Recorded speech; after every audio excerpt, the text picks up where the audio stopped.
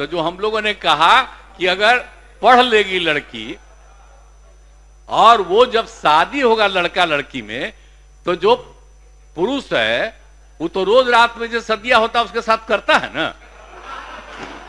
तो उसी में और पैदा हो जाता है। और लड़की पढ़ लेती है तो हमको मालूम था कि वो करेगा ठीक है, लेकिन अंतिम में भीतर मत घुसाओ, उसको बाहर कर दो। आ, करता तो है तो उसी में अब समझ लीजिए संख्या घट रही है। इंडी अलायंस के एक बहुत बड़े नेता जो इंडी अलायंस का झंडा लेकर के घूम रहे हैं जो देश की वर्तमान सरकार को उखाड़ फेंकने के लिए भांति भांति के खेल खेल कर रहे हैं वो इंडी अलायंस के नेता ने विधानसभा के अंदर, जिस सभा में माताएँ बहनें भी मौजूद थी,